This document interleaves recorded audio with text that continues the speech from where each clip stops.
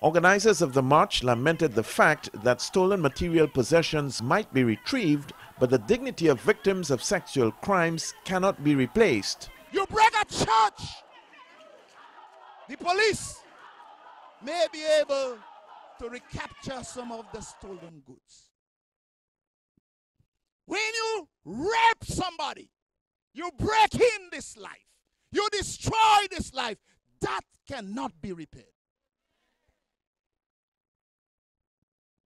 And I want you to know your life is the only property that God have given to you. So I'm asking you to be sensitive, more sensitive to yourselves and more sensitive to each other when it matters most. It's easy to love somebody when things are good.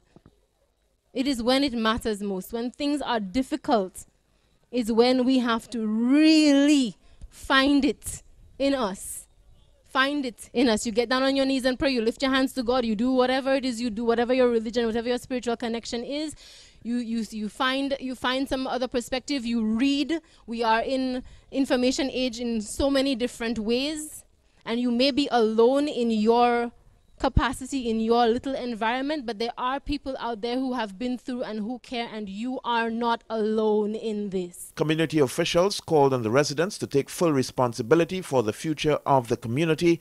This as the community remained determined not to allow a repetition of the November 11th incident where an elderly woman was raped.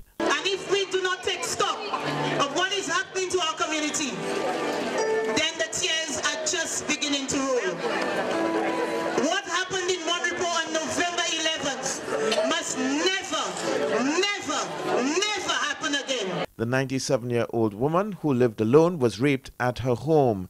For the DBS News World, I am Don Nicholas.